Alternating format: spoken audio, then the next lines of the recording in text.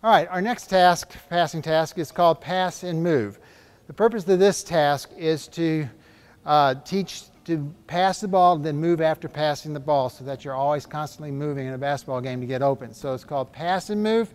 On this pass, what we're going to do is we've got uh, a pair of students with poly spots staggered about every 10 feet, staggered down the court.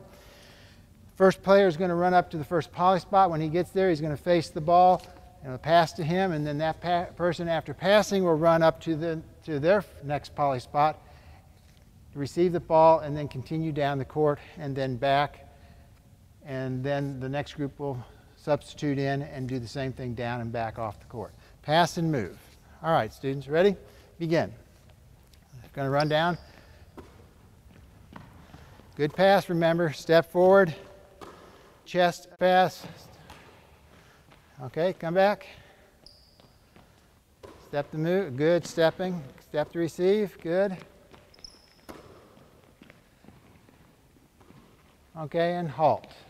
All right, now an extension to this is once they get the idea of moving and catching the ball, is to pass the ball as they move. So on this one, instead of being stopped when they receive the ball, they will be, have the ball passed to them while they're moving, and then they must stop within one step, or else it's traveling.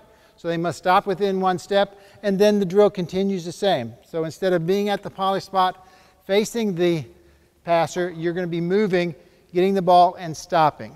Okay, so this is a modification of pass and move. Ready? Begin. Pass it as they move. Pass it as they move. Pass as they move. Good.